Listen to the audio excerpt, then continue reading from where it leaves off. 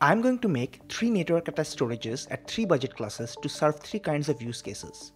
Now, I'm not a storyteller, but here's somebody who is actually good at storytelling, laying out the problem statement of what I'm going through elegantly and with vivid details. But the thing is, if I want one of these files, it's probably on a couple of drives, but more than likely it's on like four of the drives. And then you got to play a little game of I Spy to spot the difference and figure out which one of these drives has the most updated version of the project. And then sometimes you'll keep searching around and then you'll find out, you know what? It's not on any of the drives, it's just gone. So it's not so much of a system here. The way I would describe it is really Chaos reigns. I feel personally attacked, but at the same time, a little relieved that I'm not the only one with this problem. And if you have the same problem, then one of the solutions might be just right for you. Our first build costs only $30 and it's made out of a Raspberry Pi 0W or 02W. And that's it. We're not even going to spend extra on storage. The microSD card that runs the Pi will itself be configured to host the storage directory and served over the network. Once we have configured and flashed the card with Raspberry Pi OS Lite, we can boot up the Pi. We need to find its IP address on the network to log into it. Once we are in and the system is upgraded, we'll install Samba to configure the NAS. If you follow this tutorial, then you will be fine on most Debian based distros like Ubuntu, Mint, Pop or Pi OS as it is in our case. So next up, we need to update the Samba configuration file to add a new share we're just gonna call it share for simplicity. We can share any directory, but to keep the users and permissions simple, we're going with a folder named share inside the user's home directory. We need to be able to write, so set read only to no, and also browsable to yes for various reasons that are too complicated to explain in this video. Save the file and create the directory that we set in the share path if it doesn't exist yet. Also, we need to add pi as the Samba user. Just type smb passwd dash a pi and then when prompted enter Samba password. All we need to do now is to restart the Samba service so that the changes that we made come into effect. And we can verify that by opening a file browser and visiting the share path. It might even be already discovered on the network depending on your settings.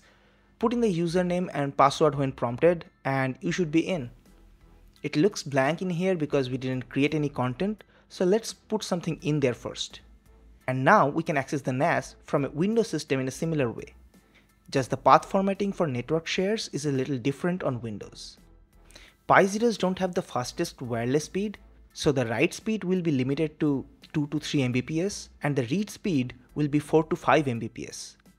This is a barebone NAS and it's not made to break any benchmarks, it's a very low cost full manual control option as a portable NAS that you can even power with a battery pack. And hey, a slow NAS is better than no NAS, am I right? It not only gives you access to mission critical or sensitive files at a pinch, it also allows you to transfer and share files with strangers without needing to plug in untrusted USB devices to your system as sort of an air gap if you want. But what if you're getting more serious about your data management and want a more practical solution? and you are still not sure how much to spend on it before getting accustomed to using a NAS. Then our next $150 build is going to be the one that you should try out. These are the parts you would need to get started, but there's a lot of flexibility in here. You can have a wide selection of storage interfaces from NVMe hats to SATA adapters, and on that note, for the storage itself, you can use from a USB pen drive to a full-sized spinning hard disk if you want to. But we're going for flash storages only, and this NVMe to USB adapter with M.2 SSD is the most simple and plug and play way to show it to work. So let's go with that. Prepare a microSD card just like before with PiOS Lite and pop it in. You can run the setup by logging in remotely over Wi-Fi, but it's not recommended. As at the last step, the script we're using will remove Network Manager and disable Wi-Fi and you will lose shell access. It's a part of its optimization process and you can choose to skip it to keep Wi-Fi, but in general, you are better off connecting the Pi over Ethernet, adding the storage from the get-go, and then power it on. Once you have upgraded the packages, look up for Open Media Vault install script. and the first link you will get should be a GitHub repo. Check out its README and copy the installation script. Back in the terminal, just let it run as a super user and grab a cup of coffee. The script will do all the heavy lifting and set up Open Media Vault on the Pi. Now, if you are not into running random script on your systems, I don't blame you, neither am I. So after checking the script the best I could, I also got it reviewed by someone more meticulous and detail oriented than me to be extra sure of what's happening under the hood.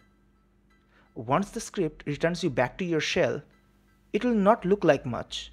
But if you open your browser and visit the Pi's IP address on the network, you should be greeted with Open Media Vault's login screen. The default username is admin and the default password is Open Media Vault, all lowercase, no space. Once you are in, you will see practically a blank slate of a page asking you to set up the dashboard. This should either make you super happy or super annoyed. If you are super annoyed about the solution not making the choices for you, then now you know. You should probably skip this build and go for a consumer NAS that spends a great deal focusing on the user experience, but if that makes you happy, then please subscribe and turn the dark mode on. Here's the dashboard after setting up some useful widgets and we can see it's running Open Media Vault 7.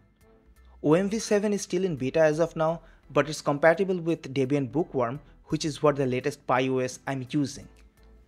We now need to go to the storage tab and look at the SSD we attached for storage.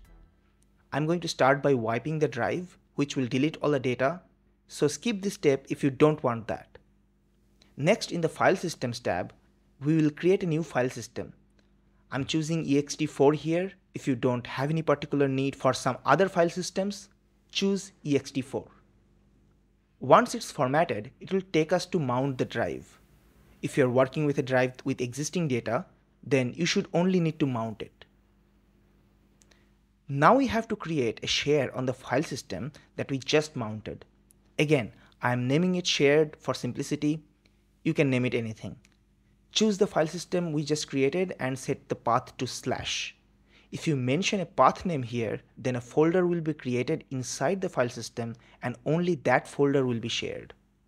Also, I'm choosing read write by everyone for simplicity, but it's possible to set more granular permission if you need to.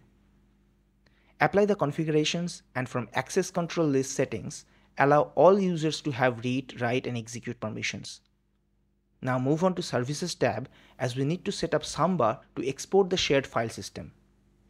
First, enable the service and then go to Shares tab.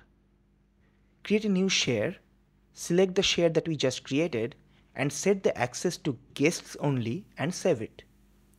Once you apply the changes, we are all set. Open up the file browser and visit the Samba URL because we set this one up very permissively, we should be able to have even anonymous access. We can create files and directories in it just like before and anyone on the network should be able to as well. It's pretty much same on Windows as well and the read and write speed is almost double that of the first build. Now if you haven't noticed yet, I have been using a very similar setup for over a year now with my Pi 4 with measly 2GB RAM.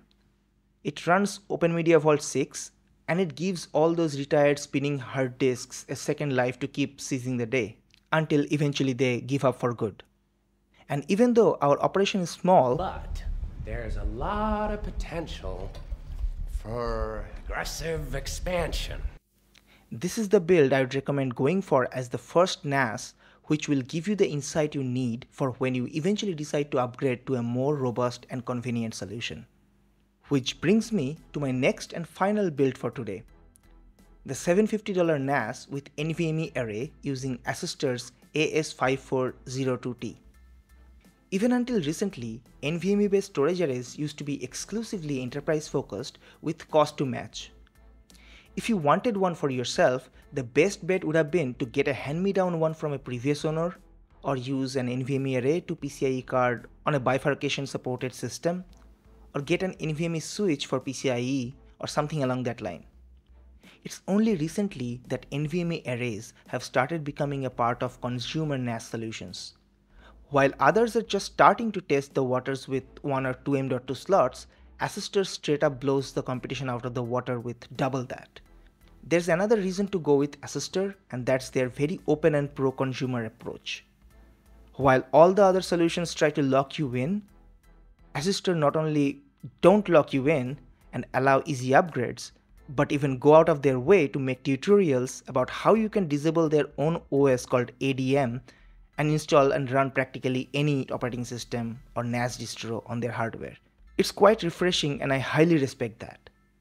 And no, this video is not sponsored by Asustor. I bought it off of my own money. This channel is not big enough for brand sponsorships. Anyway, I got this crucial P3 NVMe SSDs when the price was low. I mean, it still kinda is. Once the SSD modules are installed, I connected the Ethernet and power cables, then turn it on. I also attached an HDMI cable to capture its output for navigating the BIOS and other diagnostic information, but that's not strictly necessary. What is necessary is the Asustor Control Center app, without which the NAS absolutely refuses to get on the network for the first time. So I used an old burner laptop to set it up and it magically got on the network. I then opened its IP address at port 8000 on a browser to initialize the NAS. It asked me to update the ADM as the first thing and I said yes.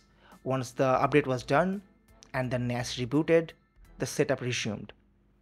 There's nothing too complicated here, just set up the account, the date time settings and the network settings. I went for manual network setup but you can just leave it at automatic and it will be just fine. And then comes the interesting part where we set up the storage volume. I went for JBOD because I want to use BTRFS for snapshots and BTRFS doesn't handle parity RAIDs like RAID 5, 6 very well. If you want to use parity RAIDs then use ext4. As I'm using SSDs instead of spinning magnetic hard disks and I mean to have other means of redundancies, I'm not terribly worried about the JBOD setup. It'll take a minute to get initialized and once done, you'll be presented with a registration page. I don't mean to expose the NAS over internet, which is what the registration is actually good for, so I'm gonna skip. There will be some statutory pop-ups and first run tutorial levels to play through. With that, you'll finally land on the dashboard and the world is your oyster. There's a lot to explore and discover, that I'm going to skip over in this video.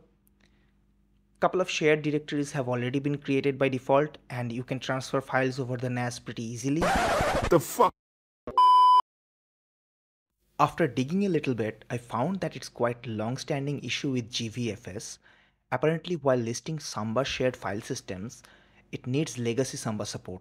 So I just enabled legacy Samba support from ADM services and even though it's not a solution, more of a hotfix, it got us past the issue. Now, on Linux, there are many other ways to access remote files. So if you don't like this approach, you can go with any of those options. Here you see me getting 30 megabytes per second speed over Wi-Fi, but if connected over Ethernet, it should be much faster. All in all, the setup is quite simple. I'm not entirely sold on the idea of using ADM though, but I've decided to give it a fair try and see how it goes. If it doesn't work out for me, then I always can install TrueNAS or OpenMedia Vault, we'll see. And while at it, I might as well upgrade the memory, add more storages to the drive base, and I'll definitely connect my hard disk dock through USB so that I can use the Pi 4 in some other projects in future. I have several other videos that I'm working on in different stages of development and they're starting to add up. I needed the NAS upgrade so they don't end up in a mess. Subscribe to watch out for those videos and let me know your thoughts in the comments. I read and respond to them all and they absolutely make my day. Thanks for watching and break it till you make it.